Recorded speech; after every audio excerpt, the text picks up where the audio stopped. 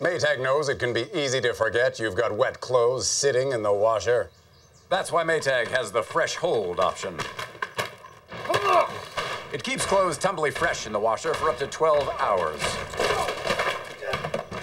So the loads you forget will be ready when you remember. Uh-oh. Maytag Appliances, now available at more furniture in Ephrata. Wahluke Warrior Soccer is the proud owner of the Royal Knights only conference loss, and last night they traveled to Royal to finish the sweep.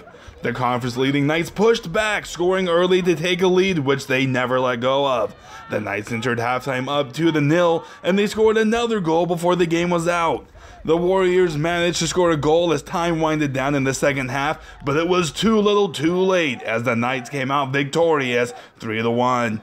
The third goal was scored by star player Michael Rojas, who made an incredible left footed goal.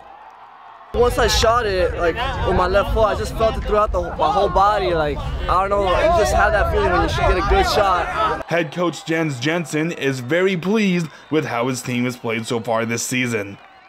Things are good. I mean, things are really good right now, and I I'm hoping that it just continues. We, I don't think we've peaked. We're continuing to grow.